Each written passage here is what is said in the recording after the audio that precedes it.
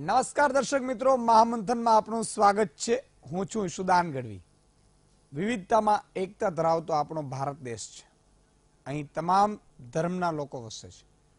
પરંતુ જ્યારે વાત રાજનીતિની આવે, ત્યારે તમામ એકતા બાજુએ રહી જાય છે. અહીં રાજનેતાઓને ધર્મના નામે દેશના ભાગલા પાડવાનું ગમે છે. અહીં ધર્મના નામે વોટ બેંકની રાજનીતિ કરવાની તમામ રાજકીય પક્ષોની પ્રથા બનેલી છે. હાલમાં જે રીતે ઇસ્લામ ખતરે મેં હે તેવી વાતોથી મુસ્લિમોને ઉશ્કેરવાનું કામ કરાય છે, તે જ રીતે હવે હિન્દુત્વ પણ ખતરામાં છે, તે પ્રકારના નિવેદનો પણ સામે આવી રહ્યા છે. ભાજપના એક નેતાએ જ આ પ્રકારનું નિવેદન આપ્યું છે અને મુસ્લિમોને ખતરા સમાન ગણાવ્યા છે. ત્યારે સવાલ એ છે કે શું મુસ્લિમોથી હિન્દુઓને ખરેખર ખતરો છે? કે પછી માત્ર હિન્દુત્વના નામે વોટ માંગવાનું આ માધ્યમ છે? આ જ બાબત પર છે આજનું મહામંથન મારી સાથે.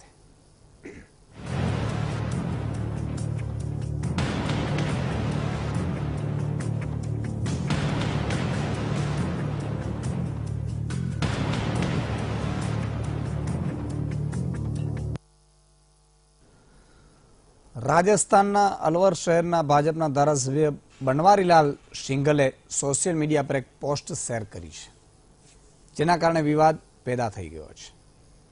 બનવારીલાલે એક હિન્દુ સંતનો આ મામલે આંકડા આપતો વીડિયો પર પોસ્ટ કર્યો છે. આ મામલે બનવારીલાલે જણાવ્યું છે કે મુસ્લિમો બે હજાર ત્રેસ સુધીમાં દેશ પર કબજો જમાવવા માટે રણનીતિના ભાગરૂપે કામ કરી રહ્યા છે. રણનીતિના ભાગરૂપે મુસ્લિમો વસ્તી વધારો કરી રહ્યા છે. હિન્દુ દંપતી એક અથવા બે બાળક પેદા કરે છે જ્યારે મુસ્લિમ દંપતી આઠ, દસ અને બાર કે પછી ચૌદ ચૌદ સંતાનો પેદા કરી રહ્યા છે. અને ઘણીવાર તો મુસ્લિમ લોકો સંતાનો પેદા કરવા માટે મહિલાઓને ખરીદીને પણ લાવે છે. જે રીતે મુસ્લિમોની તીવ્ર ગતિથી વસ્તી વધી રહી છે, તે જોતા ભવિષ્યમાં હિન્દુઓનું અસ્તિત્વ ખતરામાં જોવા મળી રહ્યું છે. સિંગલે વધુમાં કહ્યું છે કે મુસ્લિમ વસ્તી વધવાને કારણે મુખ્યમંત્રી, પ્રધાનમંત્રી, રાષ્ટ્રપતિ મુસ્લિમ જાતિના છે. જેના કારણે તેઓ એવા કાયદા બનાવશે જેમાં હિન્દુઓનું અસ્તિત્વ જ ખતરામાં આવી જશે. મુસ્લિમો હિન્દુઓને જેલમાં નાખી દેશે અને હિન્દુઓના સંસાધનોના પોતે ઉપયોગ કરશે. બનવારીલાલની પોસ્ટને કારણે હાલ તો વિવાદ થયો છે, પરંતુ આંકડાકીય રીતે જોઈએ તો તેમની વાત કંઈક અંશે એવી પણ છે, જે રીતે આંકડા સતત વધી રહ્યા છે, તેના પરથી લાગે છે કે બનવારાની પોસ્ટમાં કંઈક દમ પણ જોવા મળી રહ્યો છે.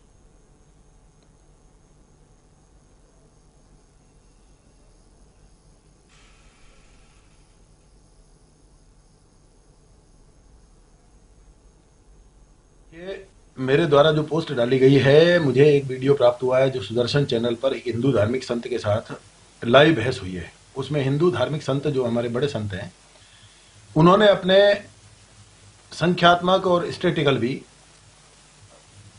बहुत आंकड़े दिए हैं और उन्होंने बताया कि जिस देश की भी जनसंख्या, मुस्लिम जनसंख्या तीस प्रतिशत या इससे अधिक हुई है, उस देश पर मुस्लिम कब्जा हुआ है। ऐसे उदाहरण पूर्व में भी हमारे इतिहास में है। हमारे देश में भी जो स्थिति वर्तमान में बन रही है, मैंने उन संत को पूरी तरह से सुना है, ठीक तरीके से सुना है। हमारे देश में भी जो स्थिति बन रही है, आज हिंदू दो बच्चे और एक बच्चे पर सीमित हो गया है। हिंदू को अपने बच्चे को आईएएस और आईपीएस बनाने की चिंता लगी हुई है, उसको सीए और डॉक्टर बनाने की चिंता लगी हुई है इंजीनियर बनाने की चिंता लगी हुई है। और मुस्लिम लोग केवल इस देश पर कब्जा कैसे किया जाए? इस चिंता में लगकर एक एक परिवार एक एक दंपति आठ, दस, बारह, चौदह बच्चे पैदा कर रहे हैं। और अगर किसी कारण से किसी भी मुस्लिम परिवार में किसी दंपत्ति को कम बच्चे पैदा होते हैं तो ये स्थिति भी है हमारे यहाँ ये देखने में आता है इस जिले की मैं बात करूं खासतौर से अलवर जिले की कि दूसरी शादी करने में भी नहीं झिझकते हैं દર્શક મિત્રો જે રીતે રાજનેતાઓ નિવેદનો કરી રહ્યા છે બંને હિન્દુ અથવા મુસ્લિમ બંનેની લાગણી પણ દુભાવી રહી છે આપણે મહામંથનમાં એ પ્રકારનો પ્રયાસ કરીશું કે કોઈની લાગણી ન દુભાય પણ હકીકત ઉપર આપણે પ્રયાસ કરીશું કે ખરેખર શું થઈ રહ્યું છે? શું કામ થઈ રહ્યું છે? એના કારણો શું છે? જે રીતે એક રાષ્ટ્ર છે, તો એમાં વસતા તમામ નાગરિકનો એક અધિકાર હોવો જોઈએ અને એ કોમન સિવિલ કોડ હોવો જોઈએ. એની સાથે આપણે લઘુમતી, બહુમતી એ રીતે ભાગલા પણ પડ્યા છે. આઝાદી બાદ ધીરે ધીરે આ ભાગલાઓ ક્યાંક ને ક્યાંક વેરઝેરમાં પણ જોવા મળ્યા. ખરેખર મનુષ્ય અવતારમાં ક્યાં જન્મ લેવો એ ભગવાન નક્કી કરે છે. શાસ્ત્રોમાં આપણે તમે મેં અને આપણે બધાએ વાંચ્યો છે. આજે કોઈ હિન્દુ છે, આવતીકાલે મૃત્યુ પામીને મુસ્લિમમાં પણ જન્મ લે. મુસ્લિમ છે એ હિન્દુઓમાં પણ જન્મ લે. આ તો ભગવાનના હાથની વાત છે. પરંતુ આપણે એવા કેવા ઠેકેદાર છીએ કે હું હિન્દુ છું તો હિન્દુનું ખેંચીને મુસ્લિમ ઉપર એટેક કરું છું. મુસ્લિમ છું તો હિન્દુ મુસ્લિમોનો ખેંચીને હિન્દુ ઉપર એટેક કરું છું. અરે ભાઈ, હિન્દુ મુસ્લિમ પછી રાખો. પેલા મનુષ્ય તો જુઓ. એ પણ માણસ છે. એને પણ હાથ છે, પગ છે, ભગવાનનો બનાવેલો છે. તમે જે પણ ઈષ્ટ દેવા, દેવતા માનતા હો. તમે ક્યારે એવો વિચાર કર્યો કે આ હું અલ્લાહને માનું છું તો આ અલ્લાહનો આપેલો જ વ્યક્તિ છે. જો અલ્લાહમાં તમે માનો છો તો અલ્લાહના આપેલા વ્યક્તિ ઉપર તમે કેમ એટેક કરી શકો છો. એ જ રીતે જો તમે ભગવાન ઈશ્વરમાં માનો છો તો ઈશ્વરના આપેલા વ્યક્તિ ઉપર તમે કેમ એટેક કરો છો. ક્યારે એવો વિચાર કર્યો? પણ એક વસ્તુ ઉપર આપણે ચર્ચા ચોક્કસ કરવી છે. કોઈની પણ લાગણી ન દુભાય અને ખુલ્લા મનથી એ વિચાર સમજે પણ ખરા. કે જે રીતે મુસ્લિમોની વસ્તી વધી રહી છે, એ નોર્મલ હોય તો કંઈ વાંધો નહીં. પરંતુ દસ હજાર રૂપિયા કમાવ્યા પછી સાત સંતાનો, આઠ સંતાનો હોવા તો એ સંતાનોને ન્યાય કઈ રીતે મળી શકશે? કોઈ પણ હિન્દુઓમાં પણ દસ સંતાન હોય તો એ સંતાનને તમે પાલન પોષણ કઈ રીતે આ મોંઘવારીમાં કરી શકશો? આ એક ગંભીર સમસ્યા છે. સંતાન એ ભગવાનના હાથની વાત છે, એ બાબતે કેવું નથી, પણ આના ઉપર ચર્ચા જરૂર કરવી પડે. એટલા માટે જ આપણી સાથે ચાર મહાનુભાવ જોડાયા છે. અશોક પંજાબી છે, કોંગ્રેસના નેતા છે. જ્યોતિનાથ મહારાજ છે, ધર્મગુરુ છે. સુધીરભાઈ રવાલ રાજકીય વિશ્લેષક તરીકે જોડાયા છે અને ઇકબાલભાઈ મિર્જા સેક્રેટરી છે ઇસ્લામ દર્શન કેન્દ્રના. ચારે મહાનુભાવોનું ખૂબ ખૂબ સ્વાગત છે. આપણે એવી રીતે ચર્ચા આજે કરવાના છીએ કે એ ચર્ચાથી કંઈક લોકોને સમજાય. હિન્દુ મુસ્લિમથી પર જઈને ચર્ચા કરીશું. કોઈની લાગણી દુભાવવાનો અધિકાર નથી કોઈને પણ. એ ચાહે હિન્દુ હોય કે ચાહે મુસ્લિમ હોય.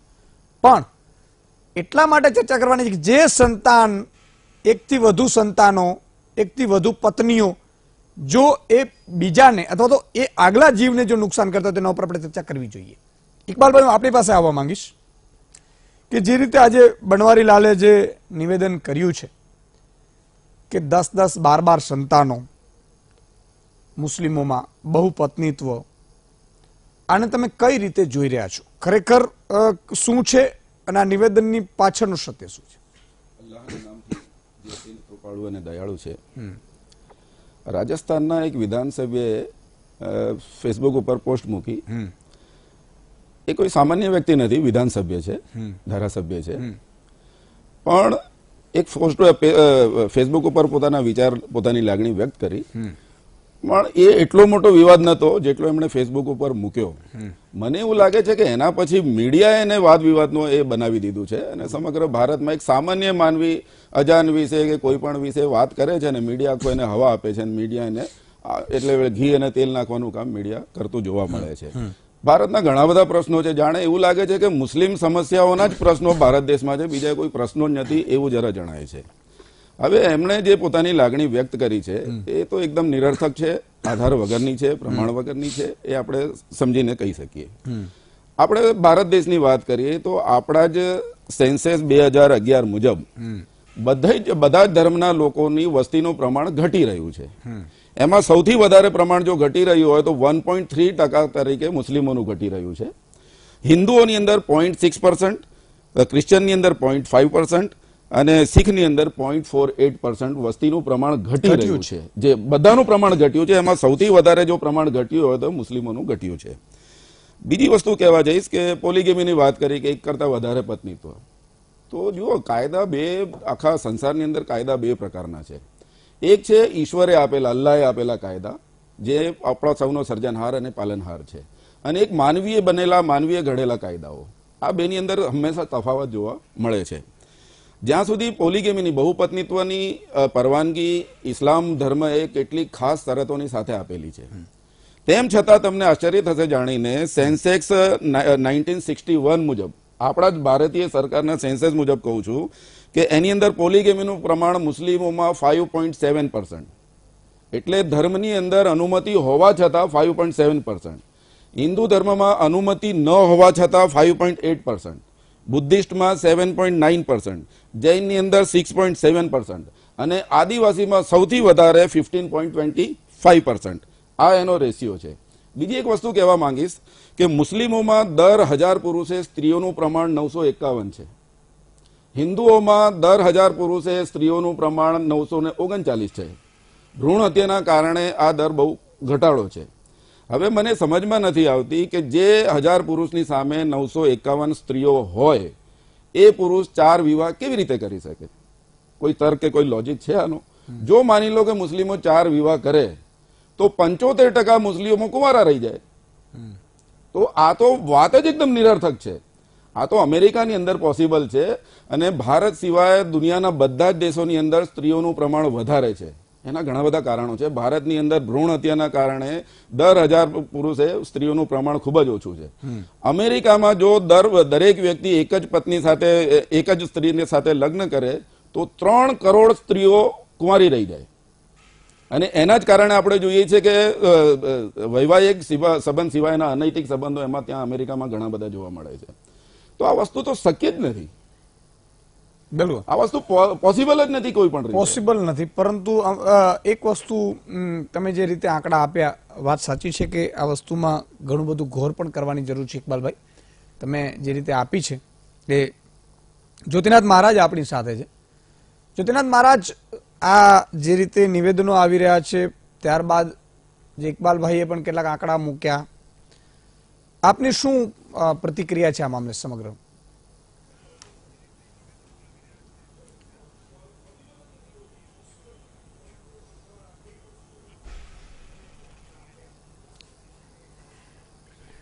યશુદાનજી, સર્વપ્રથમ તો હું એમ કહું કે આજથી વીસેક વર્ષ પહેલા જે પ્રક્રિયા હતી, તે પ્રક્રિયા અને અત્યારની પ્રક્રિયામાં ઘણો બધો ચેન્જ આવ્યો છે. હા, વીસ વર્ષ પહેલા એક વસ્તુનો મને પોતાને પણ અભ્યાસ હતો કે મુસલમાનોની સંખ્યા કૂદકે ને ભૂસકે વધતી હતી. હું એગ્રી છું આ વસ્તુ સાથે. પણ ત્યારે મુસલમાન સમાજ એજ્યુકેટેડ થયો. એમને પરવરિશનો ખ્યાલ આવ્યો. સ્ત્રીઓ પણ એજ્યુકેટેડ થઈ, ત્યાર પછી આ પ્રમાણ પર કંટ્રોલ આવ્યો. આ વિધાયક સાહેબ તરફથી કરેલું બયાન કે જે સંતનું બયાન પણ મેં તો સાંભળેલું છે રૂબરૂમાં, એટલે મેં લાવ્યું તે વખતે પણ જોયું હતું. અને આ એક લોકોની અંદર વૈમનસ્ય ઊભી કરવાની ચોખ્ખે ચોખ્ખી કોશિશ છે. અને આનાથી પોતાના રોટલા શીખવાની આ એક પરંપરા ઊભી થયેલી છે. ખરેખર એક વાત યાદ આવી જાય, ભલે બહુ જૂની છે, કે ના હિન્દુ બનેગા, ના મુસલમાન બનેગા, ઇન્સાન કી ઓલાદ હે, ઇન્સાન બનેગા. આ પ્રક્રિયાથી સમાજને દૂર લઈ જવામાં આવે છે, એ દુઃખની વાત છે. યશુદાસજી બહુ બહુ જ સાચી વાત જ્યોતિનાથ મહારાજે કરી સુધીરભાઈ, કે એક વસ્તુ એવી છે કે જે છંછેડવા જેવી નથી. અથવા તો એ છંછેડવાથી કોઈ અર્થ ઉપજતો નથી, સિવાય કે કોઈ પર્ટિક્યુલરી લાભ પોતાના વિસ્તારમાં. તમને લાગે છે કે ક્યાંક ને ક્યાંક આપણા નેતાઓ છે એ કોઈ ને કોઈ લાભ લેવા માટે હિન્દુ મુસ્લિમનો કાર્ડ ખેલાતું હોય? બિલકુલ ઈસુદાનભાઈ આ એ જ વસ્તુ છે. અત્યારે તમે જુઓ ઇકબાલભાઈ હમણાં બહુ તર્કબદ્ધ આંકડાઓ આપીને શકે બહુ ગળે ઉતરેવી વાત કરી.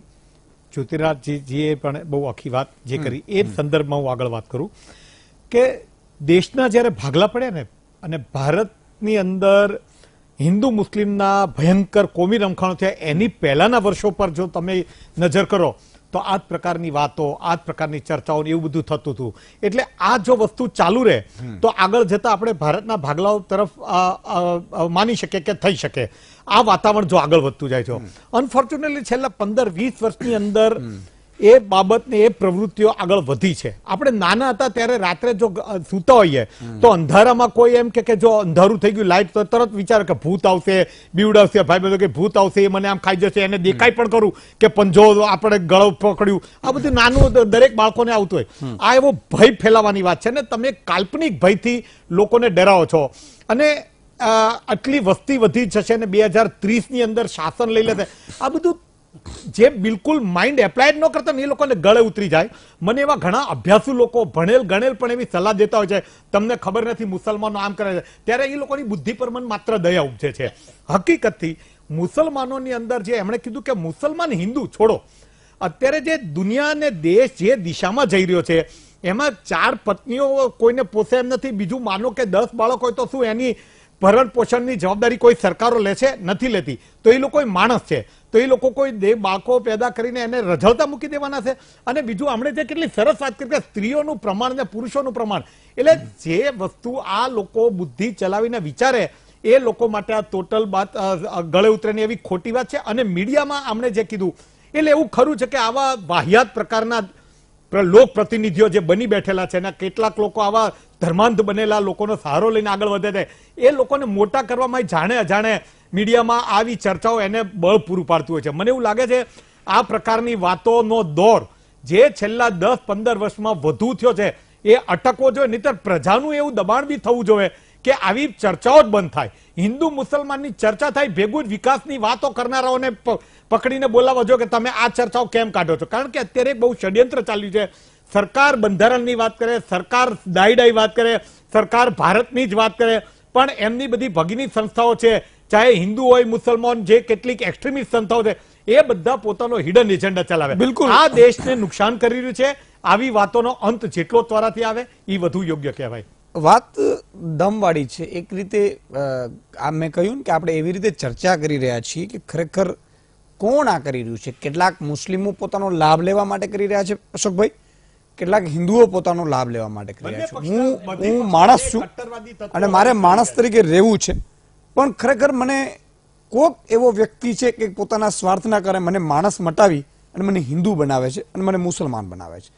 તમને શું લાગે છે આ દેશમાં ખરેખર અત્યારે આટલું ડિજિટલાઇઝેશન થઈ રહ્યું છે? આટલા બધા દેશમાં વિકાસના વેગ ફૂટી નીકળ્યા છે. ત્યારે આ હિન્દુ મુસ્લિમના ચક્કરમાંથી દેશે બહાર આવવાની જરૂર નથી?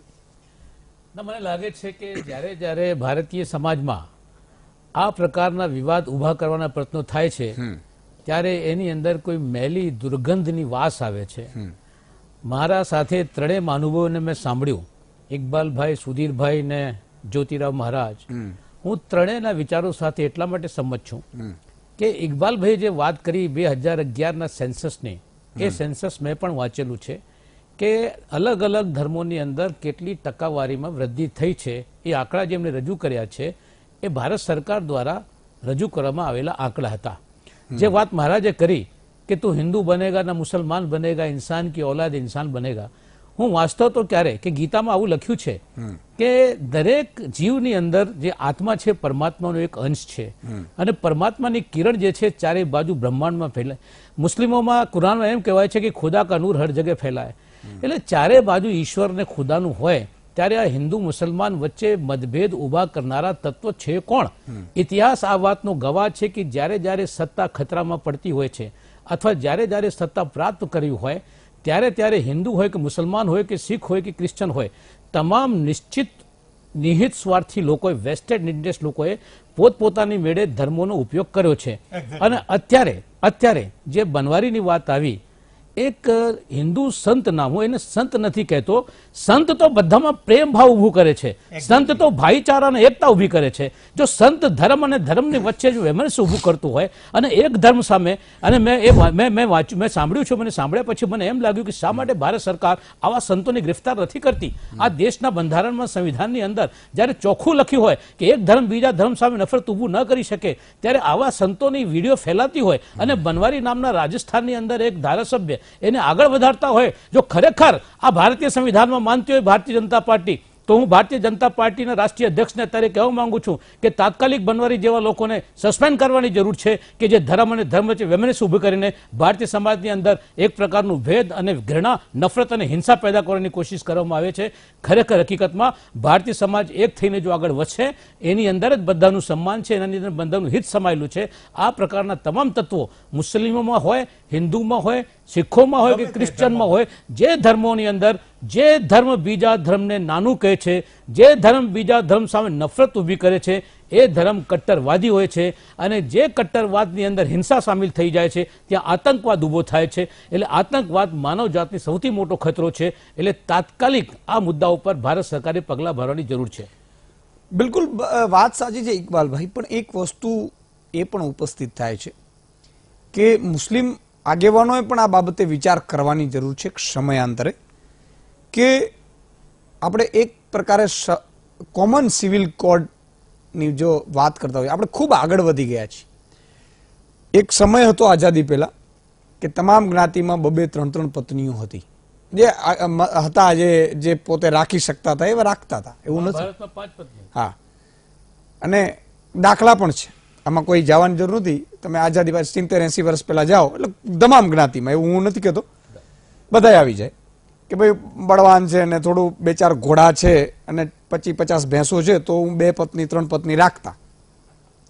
હવે બહુ હાઈ પ્રોફાઇલ જમાનો આવી ગયો છે. એક મુસ્લિમ સ્ત્રી પોતે ભણે છે. એક પોતાના પ્રેમી સાથે, અથવા તો જેને પ્રેમ થયો છે, એની સાથે લગ્ન કરે છે. નિકાહ કરે છે. એ પત્ની એ જે મહિલા છે એને સતત એવો ડર રહે છે કે મારો પતિ કદાચ બીજી સ્ત્રી ન લાવે. હું એમ કહું છું કે આમાંથી પણ મુસ્લિમના આગેવાનોએ બહાર નીકળવાની જરૂર છે હવે. હવે માત્ર આપણે વાતો કરવાથી કે આ થઈ જશે ફેલઉન થઈ જશે એનાથી બહાર આવવાની જરૂર છે. સાહેબ આપની વાતનો જવાબ આપો. પહેલા વિધાયકજીએ જે વાત કરી કે જો મુસ્લિમોની વસ્તી વધી જશે તો મુખ્યમંત્રી વડાપ્રધાન રાષ્ટ્રપતિ એ બધા જ મુસ્લિમ થઈ જશે. એ ભૂલી જઈએ કદાચ. ના ના એની એ મુદ્દો ત્યાંથી શરૂ થયો છે એને કેવી રીતે ભૂલી જઈએ? એટલે ત્યાંથી એમણે કીધું કે મુખ્યમંત્રી વડાપ્રધાન રાષ્ટ્રપતિ બધા જ મુસ્લિમ થઈ જશે કાયદાઓ બની દેશે હિન્દુઓને જેલમાં નાખી દેશે અને માનવ સંસાધનો જે હિન્દુઓના છે બધા લઈ લેશે. તો આ જ વસ્તુ પર મેં પણ ગંભીરતાથી વિચાર કર્યો. એમણે ભલે એમ જ કીધું હશે પણ હું દરેક બાબતને ગંભીરપૂર્વક ગંભીરતાપૂર્વક લઉં છું. તો આ જ વસ્તુ તો હિન્દુ ધર્મના લોકો હિન્દુ ધર્મના અનુયાયીઓ પંચ્યાસી ટકા છે. અને આ જ વસ્તુ તો થઈ રહી છે. મુખ્યમંત્રી પણ છે વડાપ્રધાન પણ છે રાષ્ટ્રપતિ પણ છે કાયદાઓ દ્વારા જોઈએ છે મુસ્લિમો પર અત્યાચાર થઈ રહ્યા છે એમને જેલોમાં નાખી રહ્યા છે. મને મારી વાતો હું એમની વાતનો તર્ક સાથે જવાબ આપવા માંગુ છું. એમ નથી કહેતો. અબ્દુલ જો કલામ આઝાદ. એટલે આ સેક્યુલર નહીં હું એ જ કહું છું ઇકબાલભાઈ કે તો તમારામાં ને એમાં કઈ ફરક નથી. ના ના હું જે કહેવા માંગુ છું એક પ્રશ્ન ઊભો થઈ રહ્યા છે એમ તમે ના, ના, કહ્યું ના ના હું જે કહેવા માંગુ છું હું. તો ભારતને ધર્મ પ્રધાન દેશ માંગુ માનું છું. સંસારની અંદર જેટલા ધર્મ અને સંપ્રદાય અસ્તિત્વમાં છે બધાનું જો સુંદર સુભગ સમન્વય ક્યાંક થયેલું હોય તો ભારત વર્ષની અંદર થયેલું છે. હા. બરાબર છે? હવે તમે જે વાત કરી હું બહુપત્નીત્વના ઇસ્લામ વિશે પણ કેટલીક વાત કરું તમને. જો બહુપત્નીત્વ ડાયરેક્ટ ખોટું નથી એનો ઉપયોગ તમે કેવી રીતે કરો છો? ઇસ્લામ ધર્મમાં બહુપત્નીત્વ એટલે એકથી વધારે પત્ની કરવી ફરજિયાત નથી. પણ ઇસ્લામ ધર્મની અંદર કેટલાક કારણોમાં એને છૂટ આપવામાં આવી છે. એના હું તમને કેટલાક ઉદાહરણ આપું. આપે જોયું હશે કે ઇસ્લામ ધર્મની અંદર, મુસ્લિમોની અંદર ક્યાંય વિધવાશ્રમ નથી. ક્યાંય પણ વિધવાશ્રમ જોવા નહીં મળે. એનું કારણ એ છે કે જે સ્ત્રીઓના પતિ ગુજરી જાય, કે એમને છૂટાછેડા મળી જાય, એવી સ્ત્રીઓને જો યુવાન તો પરણતો નથી એમને. જે ફ્રેશ યુવાન હોય, કુંવારો હોય, એ તો એમને પરણતો નથી. આવી સ્ત્રીઓનો જે પ્રોબ્લેમ છે, એની જે સમસ્યા છે, એના નિરાકરણ માટેની એ વસ્તુ છે સાહેબ. હવે કેટલા બધા વિધવાશ્રમ છે હિન્દુ ધર્મની અંદર? પત્ની વિધવા એટલે બહુ ઓછી ના હું એક જ કહું એ જ વસ્તુ કહેવા માંગુ. જો માની લો સ્ત્રી નાની ઉંમરે કે જે પણ ઉંમરે વિધવા થઈ જાય છે તો એને સમાજ એને સપોર્ટ નથી આપતો સહકાર નથી આપતો એનો. ઇસ્લામે એમ કીધું છે કે એક કરતા વધારે પત્નીને જે ન્યાયપૂર્વક રાખી શકે એના બધા ભરણ પોષણ ને બધું આપી શકે એટલે એવા કહેવા માંગો છો કે જે વિધવા છે એમને જ પેલો રાખે છે. ના ના એટલે કુવારો તો કોઈ. તમ- તમારી ભૂલ છે. બહુ મોટી ભૂલ છે. આવું આવું. અશોકભાઈ આવું આપની પાસે આવું આવું.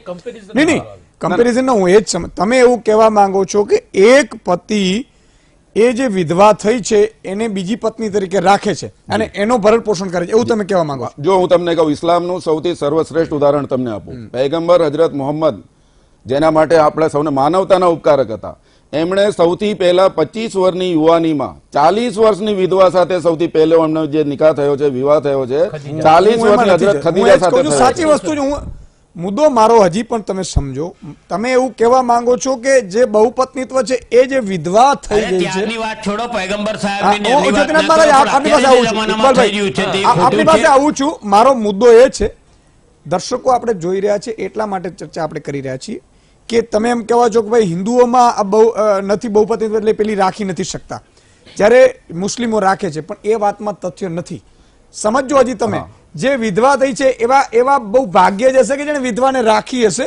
બાકી બીજી પત જે માણસ બીજી પત્ની કરે છે એ પેલી પત્નીને ઠોકર મારીને બીજી પત્ની કરી રહ્યા છે. અથવા તો એને એમ કહે છે કે ભાઈ આમાં ઇસ્લામમાં હું કરી શકું છું. મારો સિમ્પલ એ વસ્તુ છે સવાલ મારી વાત સાંભળો. આપણે કોઈ ઇસ્લામ કે હિન્દુ ધર્મની ચર્ચા નથી કરી રહ્યા. આ કમ્પેરિઝન કે તુલના કરવી જ નહીં જોઈએ. જે મુદ્દો બનવારીએ ઊભો કર્યો છે એ મુદ્દા ઉપર આપણે ચર્ચા કરવાની મુદ્દા છે ને? નહીં? અશોકભાઈ મુદ્દો એક એક ઇસ્લામ બહેનો પણ બહેનો છે. એ એ પણ એની પીડા પણ આપણી પીડા હોવી જોઈએ મનુષ્ય તરીકે. સાહેબ જે વાસ્તવિકતા જ ન હોય એની ઉપર ચર્ચા કરી હું તમને કહું છું કે આટલું પ્રમાણ છે ચાર પત્ની બહુપત્નીત્વનું શક્ય જ નથી ભારતની અંદર. અને એમાં પણ મુસ્લિમો કરતા હિન્દુ પ્રમાણ વધારે તમારે તમારા જેવા આગેવાનો જ્યારે ડિસ્કશન આવી રીતે કરે ત્યારે દુઃખ થાય. એ એ બહેનોને દુઃખ થાય કે જે બહેનોએ પોતે એક પતિ તરીકે જો હું તમને આંકડાની વાત કરું. તમે જો આંકડા જોવો તો હું તમને આંકડા કહું. જે બિન સત્તાવાર કેટલાક આંકડા છે પણ સર્વેના તારણો અધિકૃત છે એ ટાઈપના આંકડાઓ છે. એમાં જો જે મહિલાઓના છૂટાછેડા કે શાદી કે તલાક ન થયો હોય છતાંય એકલી રહેતી હોય કારણોસર કેટલાક છોડી દેવામાં આવ્યા. એમાં લગભગ કુલ મળીને ત્રેવીસ લાખ જેટલી મહિલાઓ છે આખા દેશમાં. એમાં અઢાર લાખ જેટલી હિન્દુ છે ને મુસલમાન બે પોઈન્ટ એસી લાખ છે ખ્રિસ્તી નેવું હજાર અને અન્ય એસી હજાર જેટલી છે. પ્રમાણની દ્રષ્ટિએ જોઈએ તો મુસલમાન અને હિન્દુ નજીક નજીક છે પણ એટલે એ સાહેબ એ પિંચ્યાસી ટકામાંથી છે. હા એટલે એ. પંચ્યાસી ટકામાંથી છે આ છે. પણ મારે ખાલી એમને એવું કહ્યું છે કે તમે જે કીધું સારી વાત છે કે વિધવાશ્રમ નથી. મારી જિજ્ઞાસા છે જાણવાની કે તો એવી જે વિધવા થઈ એમનું શું સમાજ એને શું પેલું કરે એમાં છે એવું છે કે જેમના પતિ ગુજરી ગયા હોય કે એમને છૂટાછેડા થઈ ગયા હોય આવી પત્નીને જે લોકો સક્ષમ હોય ભરણ પોષણ કરી શકતા હોય શારીરિક ક્ષમતા હોય એવા લોકો એમને બીજી પત્ની તરીકે અપનાવી લે. પણ એવું નથી થતું. ભાગ્યે જ થાય છે. આ વસ્તુમાં હું નથી બેસતો તમારી સાથે તર્ક ભાગ્યે જ થાય છે, ભાગ્યે જ થાય છે. બાકી એ માણસ સાહેબ હું સંકળાયેલો છું. એ અવસ્કોર તરીકે રાખે છે. એક બીજી પત્ની એટલે અને એ પેલી બેનને દુખી કરે છે. મારો સવાલ જે વાત આવી છે એમાં આઠ દસ બાર ચૌદ બાળકોની વાત. આજના જમાનામાં ભૂલી જાઓ. સાચર કમિટી આપણને બતાવી ના પણ બનવારીને પૂછવું જોઈએ કે એટલા આંકડા કાઢીને બતાડે એટલા ફેમિલી બતાડે. એ તો બનવારી આપણી જોડે નથી તો ક્યાંથી પૂછી? પણ એના પર તમે ચર્ચા કરો છો સાહેબ? મુદ્દો એ છે કે તમારા જેવા તમારી કરવા વાળા તમારા જેવા આગેવાનો પાસે મુસ્લિમ બહેનોને બહુ બહુ આશા છે. અરે હું તો મુસ્લિમ બહેનો માટે જ મારી પત્ની પણ છે બેન પણ છે. હું એ જ કહું છું આપણે મનુષ્ય માટે ચર્ચા કરી રહ્યા છીએ. હું મુસ્લિમ હિન્દુ માંથી નથી સમજો તમે. જ્યારે પણ ચર્ચા થાય તો એ પણ છે ને કે બનવારી જેવા લોકો જે બેફામ નિવેદનો કરે એને એના કરતા ઉપરના સત્તાધીશોએ પૂછવું જોઈએ કે આ જવાબદાર તમે જોવા દાવ ને તો જે માણસ હિન્દુઓને હિન્દુ હિન્દુ કરે છે એમની એને દીકરીઓ એમની દીકરીઓ મુસ્લિમ જોડે લગ્ન કરવા છે એટલે એ- એ વાતમાં તમે- તમે આપણે નથી એક મિનિટ, એક મિનિટ, એક મિનિટ. પણ. હું- નથી જવાબ સાહેબ, સાહેબ, એક મિનિટ. મારી એક વાત કહું.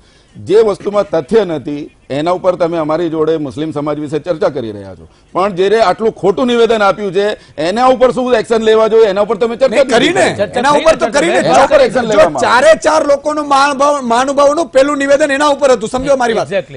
પછી મારી ચર્ચા આગળ વધી છે. જે બહેનો અહીંયા મુસ્લિમ હોય હિન્દુ હોય જે પણ હોય બહેનો તો બહેનો છે.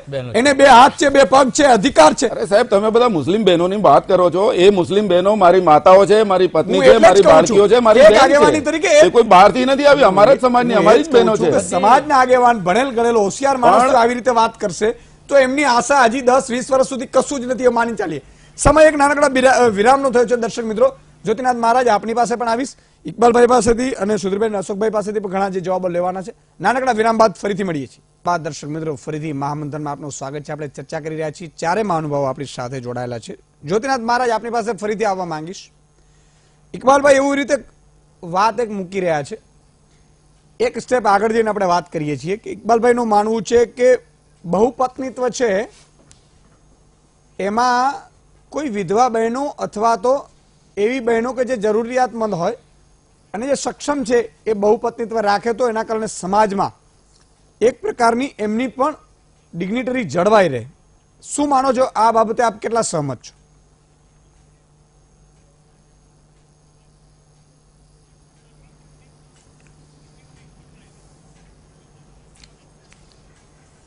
ચાર આના બી સહમત નથી. યશુદાનજી, મેં બહુ જ નજીકથી આ વસ્તુનો અભ્યાસ કરેલો છે. ને કુરાનનો સો ટકા જો અમલ કરે ને તો આ દેશ નહીં આ વિશ્વ જુદી દિશામાં હોય. મૂળભૂત વાત એવી છે કે કુરાનને જરૂર પડે તે રીતે પોતાની રીતે મોડિફાઈ કરવાની આ એક પરંપરા ઊભી થઈ છે. ને ખાલી કુરાનની નહીં દરેક ધર્મગ્રંથમાં દરેકે પોતાની રીતે મોડિફાઈ કર્યું છે. હું કહું કે બર- બનવારી જેવા નહીં કેટલાય ઠેકેદાર એવા બેઠા છે દરેક ધર્મમાં કે જે ધર્મના લોકોને ખોટા રસ્તે લઈ જાય છે. પણ હું તમને સો ટકાની વાત કરું કે કુરાનના જે ઉલ્લેખો છે, તે ઉલ્લેખો જે તે ટાઈમે અરબસ્તાનની પરિસ્થિતિને લઈને રચાયેલા. ત્યાર પછી એમાં સુધારો લાવવો પડે. અત્યારે તો હિન્દુ ધર્મના લોકો પણ બે લગ્ન કરવા હોય એટલે મુસ્લિમ ધર્મ અંગીકાર કરી લે ને બે લગ્ન કરે, બહાર બતાવે નહીં કે અમે મુસ્લિમ ધર્મના થઈ ગયા છે. અને તે એટલા જ પૂરતા એનો છટકબારી રૂપે અમલ કરે. આવા કેટલાય બનાવો છે કે જે એક માલાફાઈડ ઇન્ટેન્સ અને હવસખોરી સંતોષવાના આ ચોખ્ખા ચોખ્ખા પ્રયત્નો છે. કારણ કે સમાજની અંદર હું તમને બહુ દુઃખની લાગણી કહું. આજે ઇકબાલભાઈ બોલ્યા મારી માતા છે. મને ખૂબ આનંદ થયો. પણ ઇસ્લામ ધર્મની અંદર સ્ત્રીનું કોઈ પણ માનનું સ્થાન જ નથી. ને માતૃદેવો ભવ શબ્દને એ ક્યાંય ગણતા નથી. આ બહુ દુઃખની વાત છે. ઈસુદાનજી. ઇકબાલભાઈ. હા મારા સાહેબની વાત ઉપર હું કહેવા માંગીશ. મોહમ્મદ પૈગંબર સાહેબે કીધું, ઇસ્લામ ધર્મની વાત કરું છું.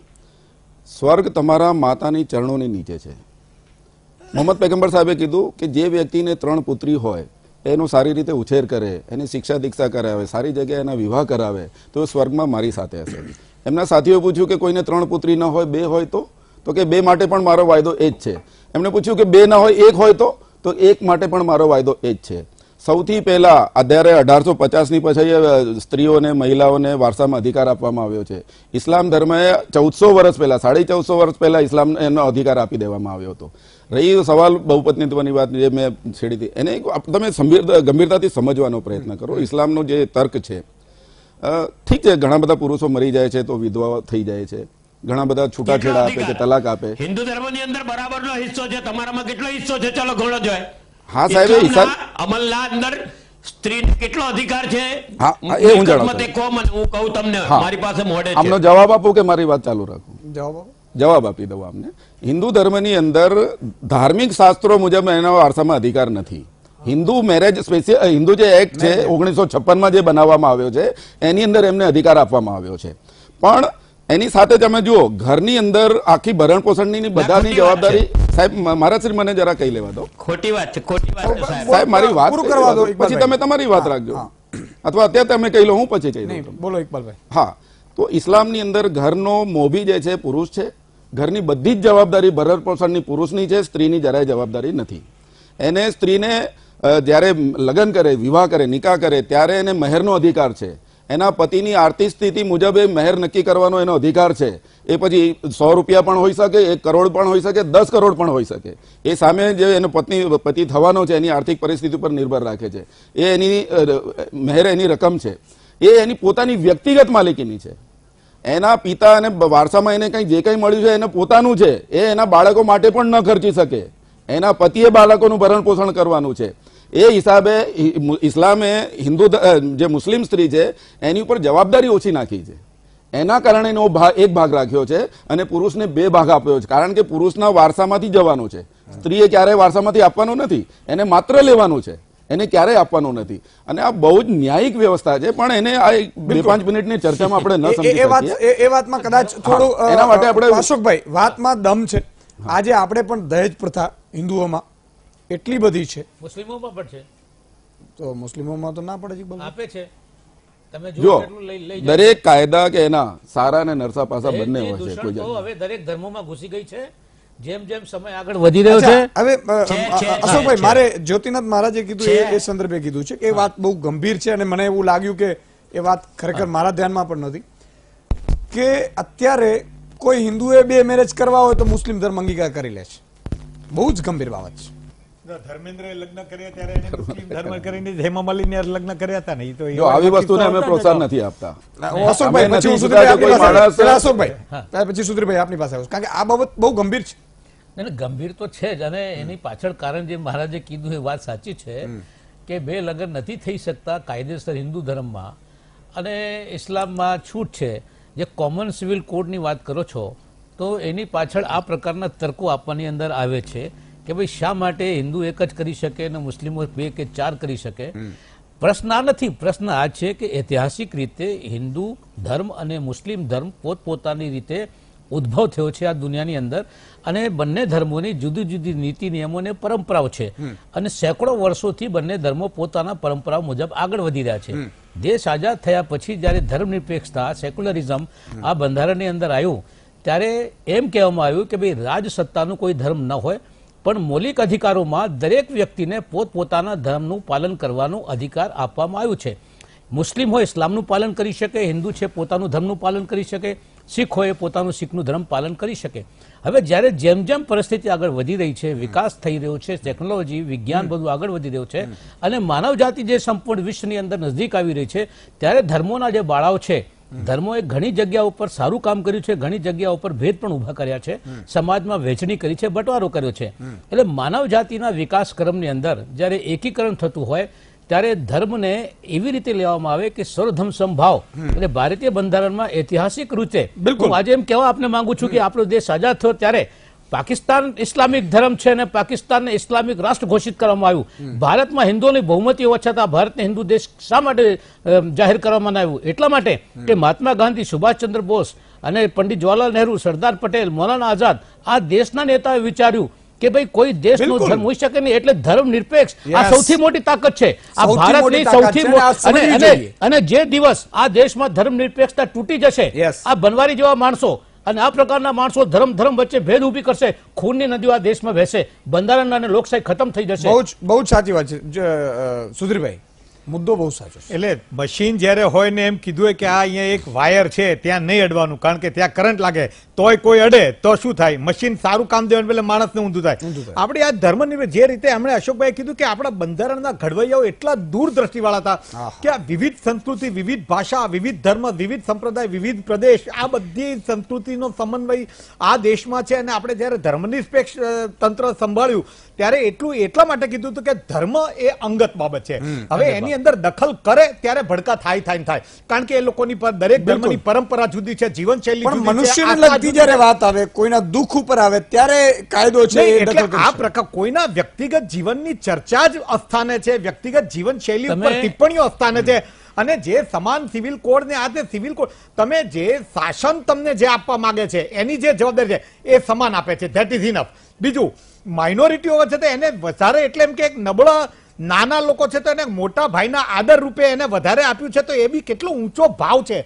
તો એની સામે માઇનોરિટી એ બહુ મેજોરિટી પ્રત્યેનું આદરપૂર્ણ વ્યવહાર આ બધી કલ્પનાઓ આપણા બંધારણના ઘડવૈયાએ કરી હતી. ત્યારે આપણો સેક્યુલર કન્ટ્રી થયો છે. અને આ દેશની એકતા અને અખંડિતતા માટે સૌથી વધુ કોઈ એક તત્વ કામ કરતું હોય તો એ આ સેક્યુલરિઝમ છે ધર્મનિરપેક્ષતા છે.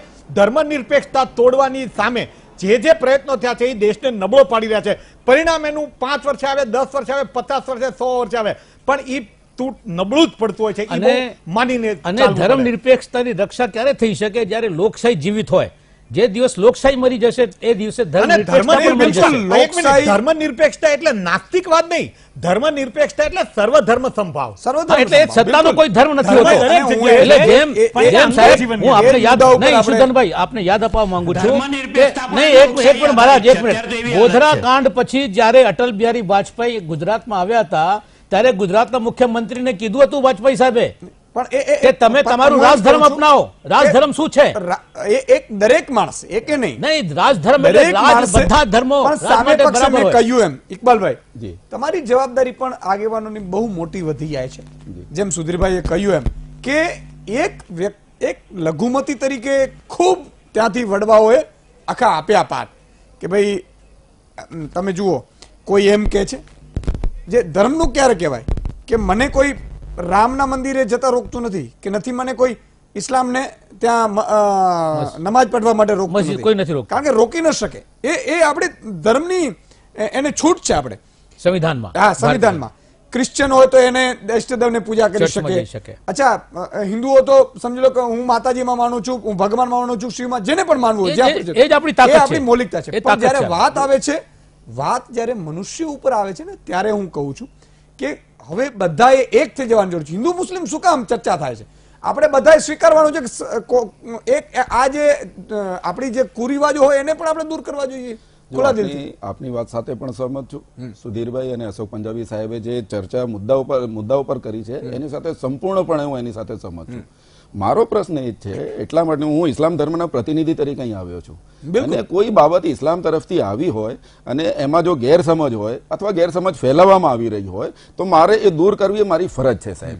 એટલા માટે હું એ મુદ્દા ઉપર એ કરું છું થોડું mind પણ તમારે થવું જોઈએ. ના ના હું બહુ બ્રોડ માઇન્ડ છે હું એ રીતે જ તમને વાત કરું છું. જો હું તમને એક વાત કહેવા માંગુ જ્યાં સુધી બહુ પત્નીત્વની વાત છે ઇસ્લામ ધર્મમાં બીજી પત્ની કરવી કે ચાર પત્ની કરવી કમ્પલસરી નથી. સૌથી પહેલી વાત. કુરાને કીધું છે કે જો તમે ન્યાય કરી શકતા હો બંનેની સાથે સમાન ન્યાય કરી શકતા હો અને તમે સક્ષમ હો ભરણ પોષણ કરી શકતા હો તો જ તમારે આ શરતોને અધીન એને લાવવાની છે. અને જે બીજી પત્ની આવે છે એની પણ સંમતિ હોવી જોઈએ. એને પણ મહેર આપવાની છે. આ બધી વસ્તુ જોવાની છે. પત્નીને કયા વગર નથી લાવવાની? પણ ઇકબાલભાઈ પાલન કોઈ નહીં કરે. એક મારી વાતો હું એ જ કહું છું મારો મુદ્દો પૂરો થઈ જવા દો એટલે વાત ઠીક છે.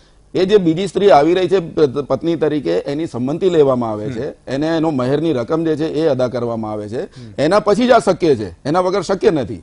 પહેલી વાત તો મેં જે કીધી કે આંકડાની રીતે ભારતની અંદર શક્ય જ નથી. એ વાત તો મેં તમને પહેલા સ્પષ્ટ કરી દીધી. હવે હું એક કહેવા માંગુ છું કે ભારતની અંદર ઘણી બધી બહેનો બધા જ સમાજની એમાં મુસ્લિમ બહેનો પણ આવી ગઈ અને બીજા સમાજની. એમાં જેમના પતિ ગુજરી ગયા છે વિધવા થઈ ગઈ છે અથવા એમને તલાક અને છૂટાછેડા થઈ ગયા છે. અને વય પણ બહુ ઓછી છે. ઘણા બધા ઘણી બધી બહેનો છે.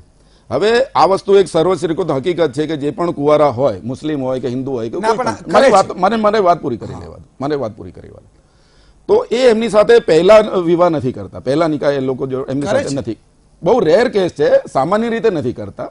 જે વિધવા ચાલીસ વર્ષની વિધવા અને કોઈ યુવાન હોય વીસ વર્ષનો તો નિશ્ચિત દેખીતી વસ્તુ છે કે એની જોડે સામે પેલો પણ એની પત્ની મૃત્યુ પામી હોય. મારી વાતો સાંભળો હું જે કહેવા માંગુ છું. એ હોય તો બરાબર છે એ રીતે હોય તો. પણ સામાન્ય રીતે આવું નથી થતું. અપવાદો છે તો કહેવાનો મતલબ મારો એ છે કે ક્યાં તો એને નિરાધાર છોડી દેવામાં આવે. ક્યાં એ વિધવાશ્રમમાં જાય. ક્યાં એ અનૈતિકતાની અંદર જતી રહે. અથવા ક્યાં એ પોતે પોતે પોતાની મરજીથી યોગ્ય વ્યક્તિ લાગે એની બીજી પત્ની બને. આ બધી જ વ્યવસ્થા શક્યતાઓ છે. એની અંદર જે તેમને ન્યાયિક વસ્તુ લાગે એની ઉપર આચરણ. અને કોઈ પણ કાયદો એના પ્લસ પોઈન્ટ હોય તો માઇનસ પોઈન્ટ પણ હોય છે. લોકો. એને દુરુપયોગ કરતા હોય છે. અને મુસ્લિમ સમાજ એના પ્રત્યે બહુ ગંભીર છે અને એને દૂર કરવાના પ્રયત્નો કરે છે. આ ખાલી આ ચર્ચા બાબત એક બે વસ્તુ નાના પોઈન્ટ કહેવા માંગુ છું. કે વિધાયકે જે કાંઈ પણ કીધું હું દર્શક મિત્રોને તમારા ચેનલના માધ્યમથી કહેવા માંગુ છું કે આજે ગૂગલ ઉપર અને ઘણી બધી વસ્તુ ઉપર ઘણી બધી વસ્તુ તમને પ્રાપ્ત છે. તો જે કંઈ પણ વસ્તુ આવે ગેરમાર્ગે દોરવાની આવે તો દર્શક મિત્રો તમને હૃદયપૂર્વક વિનંતી છે કે સૌથી પહેલા તમે એને ચકાસી લો. કુરાન કહે છે કે તમારી પાસે કોઈ વાત આવે તો એને આગળ ફોરવર્ડ કરતા આગળ મોકલતા પહેલા તમે ચકાસી લો એ વસ્તુ સાચી છે કે ખોટી. જો એ સત્ય હોય તો પછી એને માનો. અને સત્ય ન હોય તો એને મૂકી દો. અને જ્યાં સુધી ઇસ્લામ ધર્મની દરેક વખતે વાત આવે છે, દર્શક મિત્રો, તમે પણ જુઓ છો કે મીડિયા ઉપર આજે ઇસ્લામ અને મુસ્લિમો જ છવાયેલા છે, એમની ઉપર જ ચર્ચા થાય.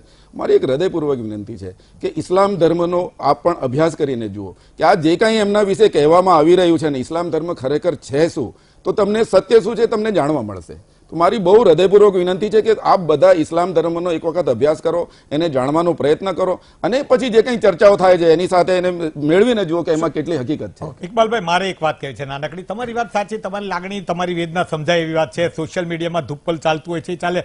પણ આ બધું છે ને, સમાજના કે સરકારના કે એના કોઈ, કોઈને કોઈ વેસ્ટેડ ઇન્ટરેસ્ટના જે તત્વો એ કરતા હોય છે. બાકી આખા દેશની અંદર મુસ્લામને ઇસ્લામને એ જ રીતે મહત્વ અપાયું છે કે જેટલું હિન્દુને અપાયું છે એટલે જ આપણો દેશ અને પરસ્પર આદર ભાવથી જીવ્યો છે.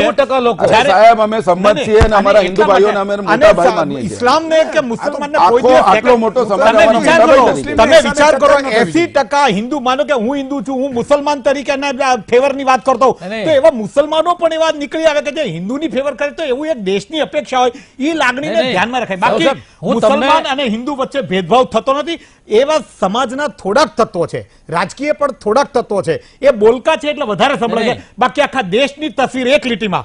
આખા દેશની તસવીર જોઈએ તો આજે તો આપણા દેશનું સેક્યુલર ફેબ્રિક એટલું મજબૂત છે કે આવનારા સૈકાઓ સુધી આવનારા સૈકાઓ સુધી એને કોઈ આંચ આવી શકે એમ નહીં, હું એમની વાતમાં આપણી સંસ્કૃતિના મૂલ્ય એટલા. રાવલ સાહેબની વાતમાં એટલા માટે સમર્થન આપું છું કે ભારતની અંદર એટી ફોર હિન્દુ હોવા છતાં પણ આ દેશ આજે પણ બિન સાંપ્રદાયિક ને ધર્મ નિરપેક્ષ છે એટલે મોટા ભાગે મોટા ભાગે ઇસ્લામ હોય હિન્દુ ધર્મ હોય ક્રિશ્ચન તમામ ધર્મો જે છે બધાને બરાબરીનો દરજ્જો આપે છે. હક આપે છે. પણ પ્રશ્ન અત્યારે આ છે જે બનવારીનો સવાલ ઊભો થયો ઈશુદાનભાઈ હું કહેવા એમ માંગુ છું કે શા માટે છેલ્લા ત્રણ સાડા ત્રણ વર્ષથી લગાતાર આ પ્રકારની જુદી જુદી રીતે જુદા જુદા સ્વરૂપમાં જુદા જુદા મોડાથી સમાજની અંદર ભેદ ઊભા કરવાની કોશિશ કેમ થઈ રહી છે ન થવી જોઈએ. જ્યોતિનાથ મહારાજ કેમ કહેવા માંગે? જ્યોતિનાથ મહારાજ.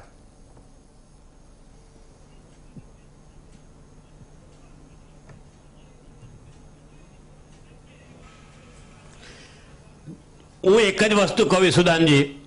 આ બધા જ મહાનુભાવો સરસ સરસ કહે, પણ સુધીરભાઈની વાત સાથે હું ક્યાંક બિન સાંપ્રદાયિકતાની વાતને હું ક્યાંક ટેકો આપું. અને એમ કહી શકીએ ડંકાની ચોટ પર કે સજ્જડ લોકશાહી જોઈતી હશે, તો બિન સાંપ્રદાયિકતામાં ધર્મ ભૂલી ઇન્સાનિયતનો કાયદો દરેકે અપનાવવો પડશે. અને દરેકે ઇન્સાન બનવું પડશે. સાથે સાથે એક બહુ મહત્વની અને ડેન્જર લાઇટ જેવી વાત છે કે મુસ્લિમ ધર્મના હિન્દુ ધર્મના કે બીજા ધર્મના બની બેઠેલા ઠેકેદારો જે આ દેશમાં વૈમનસ્ય ફેલાવે છે જ્ઞાતિઓ વચ્ચે જે કાવા દાવા ઊભા કરે છે કે દાવા નળ ઊભા કરે છે આવાને સખત શબ્દોમાં વખોડી કાઢવા જોઈએ અને સમાજની વચ્ચે ઉઘાડા પાડવા જોઈએ કે એમની પર સમાજે ફિટકાર વરસાવવો જોઈએ કે આ જરૂર પડે ને તો આવાને સજા પણ આપવી જોઈએ. આવું જો કટકાઈ આવે ને તો તો જ આ સમાજમાં જે ખોટા વૈમનસ્ય ઊભા થાય તેમાંથી બચે અને આ દેશ સારા પંથે આગળ વધી શકે છે. બાકી સોને કી ચીડિયાથી તે આજે સોને કી ચીડિયા જ છે. બસ આ થોડાક અપવાદો છે જે પાંચ દસ ટકા સમાજને બગાડે છે. તેમને ઉખાડીને બહાર ફેંકવાની જરૂર છે. બહુ સરસ. બહુ જ હું ખૂબ ખૂબ ધન્યવાદ આપું છું. એમના માટે દિલથી દુઆ કરું છું.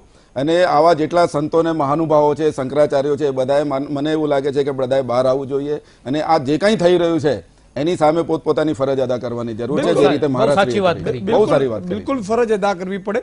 હવે- અને અને હું એવું માનું છું હા બોલો બોલો. ને હું એમ તમે મારી વાત હું એમ કહેવા માંગતો હતો કે જે આ ધર્મ ને ધર્મ વચ્ચે વેમનસ્ય ઊભા કરવાના જે પ્રયત્નો થઈ રહ્યા છે અચાનક થાય છે? કોઈ વ્યક્તિ કરે છે? કે એની પાછળ શું નિયોજિત હવે હવે ષડયંત્ર કામ કરે હવે છે? હવે એમાં જ હું કહું છું. ગહેરાઈમાં જવાની જરૂર છે. તમે પણ સાંભળો. એક નેતા તરીકે તમે મને એ સમજાવો કે ભગવાન રામને એટલી તાકાત નથી કે રામ મંદિર ક્યાં બનાવવું એ બનાવી ન શકે?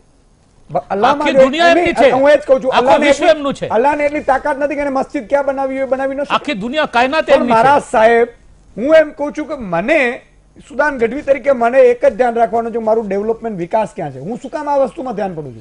મારો મુદ્દો એ છે કે કોઈ પચાસ લોકો અહીંયા ભેગા થાય કે પચાસ લોકો ત્યાં ભેગા થાય એ વસ્તુમાં પડવા કરતા હું જે જે ખામીઓ છે એ દૂર કરવી પડશે મિર્જા. સાહેબ. બધામાં. બહુપત્નીત્વ છે એ તમારે ન્યાય અપાવવો પડશે.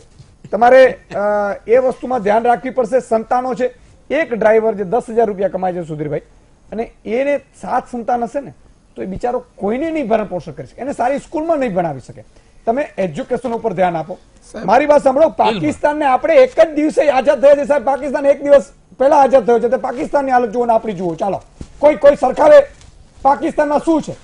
પાકિસ્તાનમાં આજે પણ કોઈ લોકો તૈયાર નથી રહેવા માટે. એનું કારણ એને પાકિસ્તાનમાં આજે પણ લોકો કોઈ તૈયાર નથી કામ કરવા માટે. હું એમ કહું છું ભારત અને આજે પણ એક ભારતમાં જે પાકિસ્તાનમાં ત્રિપલ તલાક ક્યારથી પ્રતિબંધ છે? છતાં આપણે આજે આજે પણ એક મુસ્લિમ સ્ત્રી કે હિન્દુ સ્ત્રી કોઈ પણ સમાજમાં પ્રવર્તતા દૂષણો માટે સમાજે પોતે આગળ આવવું પડે. આપણે સતી પ્રથામાં રાજા રામ મોહન. આવ્યા હતા આગળ. આપણે આપણે આ સમાજનું દેશનું સમર્થન મળ્યું એટલે સફળ થયા. હું તો એમ કહું છું કે આજે કોઈ હિન્દુ છે એ મુસ્લિમ જ જન્મ લેતો હશે. પણ એ કર્મના સિદ્ધાંત ઉપર તમે જાઓ. કે જન્મ જો જન્મ લેવું કોઈના હકમાં કોઈના હાથમાં નથી. હાથમાં નથી. જો આજે આજે હું હિન્દુ એટલા માટે છું કારણ કે મેં હિન્દુ ધર્મમાં ધર્મમાં જન્મ લીધો. એ મુસ્લિમ એટલા માટે છે કે મુસ્લિમ ઘરમાં જન્મ લીધો. સમાજમાં રહેલા દૂષણો- દૂષણો છે દૂર કરવા જોઈએ. રાજા રામ મોહન રાય સતી પ્રથા દૂર કરીને તો આજે કેટલી હિન્દુ બહેનો જીવિત છે અને મારું કેવું છે કે રાજારામ મોહન રાય ત્યારે જ સફળ થયા જ્યારે એને સમાજનો એક મોટો સમર્થન સમર્થન પછી- કાયદાનું સમર્થન મળ્યું.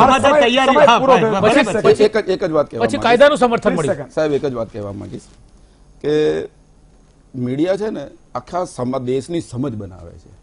મીડિયા જે રીતે ચાલે ને દેશનું મગજ એ રીતે બને છે ને એ રીતે એ લોકો બને છે. મીડિયાએ પોતાની જવાબદારી બહુ નૈતિકતા પૂર્વક એનાથી કરવાની છે. હું- જે કહેવા માંગુ- અત્યારે- આ એપિસોડની ના- ના, ચર્ચામાં હું- તમને શું લાગ્યું? હું જે કહેવા માંગુ સંક્ષિપ્તમાં સમય આ આપે- મીડિયા છે ને, આ ના, ના, હું- હું બહુ ઘણી બધી ઘણી બધી- ડિબેટમાં ગયો છું અને આજે ખરેખર એવું લાગે એવું મને કે ન્યુટ્રલ ચર્ચા થઈ છે. તેમ છતાં એક વસ્તુ બહુ નાની કહેવા માંગીશ કે સાહેબ જે મુદ્દાઓ છે અત્યારે મેં તમારી સામે આંકડા મૂક્યા. તેમ છતાં તમે સાત બાળકોનું જે એટલે એક વસ્તુ સર્વસુરિકુલ સેન્સેસ છે એના જ્યાં જ્યાં આવું હોય એવું હું હિન્દુમાં જ પણ આજે સાત બાળક છે. તો એ બિચારો નહીં ભરણ પછાત. જ્ઞાતિઓમાં આપણે શું કરવું પડશે? દરેક વસ્તુને નહીં, નહીં, એ ધર્મ સાથે સમજી ગયો તમારી લાગણી. આ જ કહેવાની છે એક વસ્તુ કહેવા માંગીશ સાહેબ. અત્યારે અફરાજુલનો જે કિસ્સો બન્યો સાહેબ બરાબર છે? એના એ લવ જહાજનો કેસ જ નતો પોલીસે જોઈને જ કીધું. તેમ છતાં એ વાત- આપણે ચર્ચા તો સાંભળો પેલા તેમ છતાં મીડિયા ઉપર તેમ છતાં એ ચર્ચા મીડિયા ઉપર લવ જેહાદ તરીકે જ ચાલી અને એમણે જે કાંઈ કર્યું અને એમના સમર્થનમાં જે લોકો કે આવ્યા, મીડિયાની પણ ફરજ છે કે મીડિયાની પણ હું એ બિલકુલ કે મીડિયાની પણ એ ફરજ છે. કે એ મેં કીધું ને કે એ અમારા જેવાની બધાની ફરજ છે. બધાએ મીડિયાએ પણ આ વસ્તુ સમજવી જોશે. મારો મુદ્દો એ જ છે કે આજે સાત બાળક કોઈ હિન્દુના ઘરમાં પણ હોય ને બરાબર તો એને પણ એટલા માટે કે ભણાવી નહીં શકે. પછી શું થશે? એ ચોર થઈ શકશે. ચોર થશે.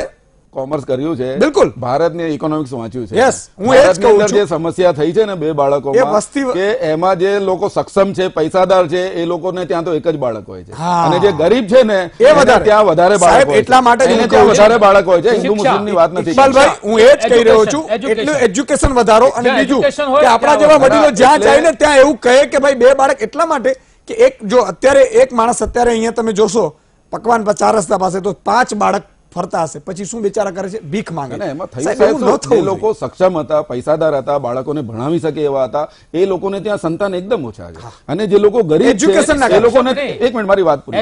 એક મિનિટ એક મિનિટ. ઓવર જાય છે. તો ગરીબો જે છે અથવા અશિક્ષિત જે લોકો છે એમને ત્યાં એનું પ્રમાણ વધારે છે. તો બોજ વધી રહ્યો છે અને જે ક્વોલિટી છે ને સાહેબ જે ક્રીમ હોવો જોઈએ ને એ એક વાર ઘટી પહેલા એવી બિલકુલ બિલકુલ. સમયનો અભાવ છે સમયનો અભાવ છે.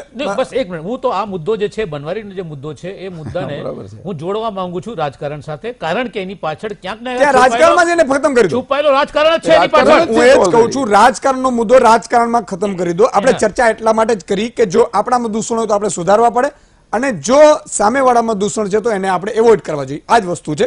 સમયનો અભાવ છે એટલે જ્યોતિનાથ મહારાજ સુધીરભાઈ ઇકબાલભાઈ અને અશોકભાઈ ચારે મહાનુભાવોનો ખૂબ ખૂબ આભાર.